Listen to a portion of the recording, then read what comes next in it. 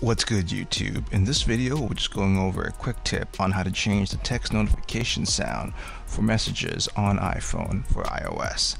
This will work for the iPhone 13 and most versions of the newer iPhones as well.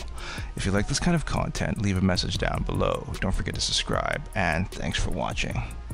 So thankfully iOS makes it fairly easy to change certain notification sounds for Apple apps on the iPhone. You can't do this for all apps like you can on Android, but you can certainly do them for most Apple apps. So if you want to change the notification sound on messages on your iPhone, what you want to do is head over to settings. From there, you want to scroll down the main menu in settings until you see messages. This is usually below phone and above FaceTime you want to hit messages. And then from there you want to go down until you see notifications. This will usually be below Siri and search. After you hit notifications what you want to do is scroll down until you see sounds.